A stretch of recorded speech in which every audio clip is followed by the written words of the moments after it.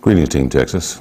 Just want to come to you and talk to you a little bit about some of the things that are going to be going on over the next couple of months as we prepare to enter into the holiday season.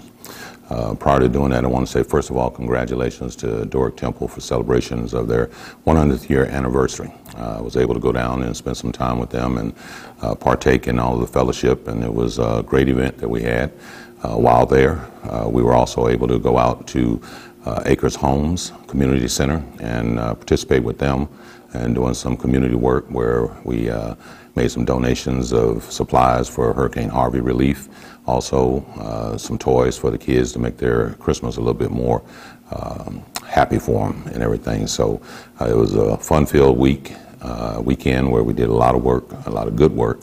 And I just want to congratulate uh, the nobles and the daughters of, of, Doric Temple for all the work that they're doing in support of the victims of Hurricane Harvey and um, continue doing the great works that you're doing.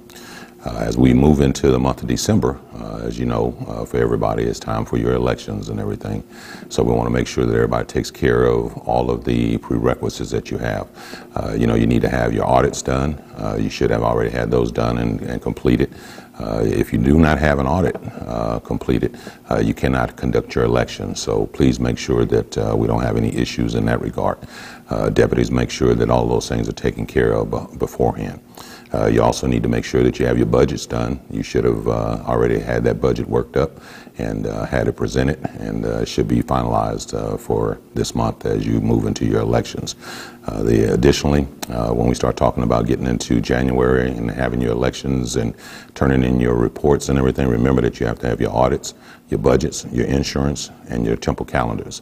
Uh, please make sure that those are submitted to Imperial Council by the 20th, and also copies also go to the Deputy of the Desert as well. So let's make sure we get those in and stay away from any Grand Lodge events. Uh, any Grand Lodge level events, we cannot have any uh, events going on at that time. So uh, please uh, help me deconflict our schedules and make sure that you're doing your planning um, accordingly as we talk about our planning and our calendars, um, Nobles in particular, uh, as you continue to plan, uh, we've done a lot of work to try and make sure we don't have uh, multiple events as it relates to balls going on.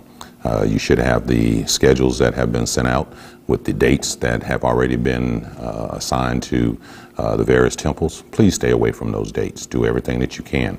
Uh, it doesn't help any of the temples or, or, the courts when we have multiple balls going on at the same time.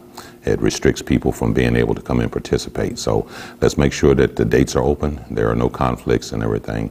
Uh, the only one that we, we never have a problem with uh, is Oro. Oro does their balls in March. So uh, look at your calendar, figure out what works out best, and let's try to make sure that uh, we don't have anyone stepping on top of each other. Uh, also, be sure that you get your stewardship reports in. Uh, for those officers that uh, you have to have a stewardship report, or elsewise you will not be able to uh, be elected for a seat for 2018. So let's uh, make sure we take care of our, our home cleaning. also, want to talk about the Desert Traveler that's coming up. The next uh, deadline for the Desert Traveler will be the 20th of January. Now we're off in the middle of Christmas cheer, so uh, let's make sure that we get all of those articles in to Past Potentate Parmer, and he'll make sure that he gets those into the Desert Traveler so that everybody can see the good works that you're doing because I know you're out there doing it. I see it on Facebook, so uh, let's make sure that we put it in there and get it on uh, to the Desert Traveler, and then of course it'll be ready for the Pyramid once you uh, have gone through the scrutiny of our our uh, crack PR director and everything. So uh, make it easy on yourself, and let's let's go ahead and get those things done. Uh, also, we got coming up uh, 27 January.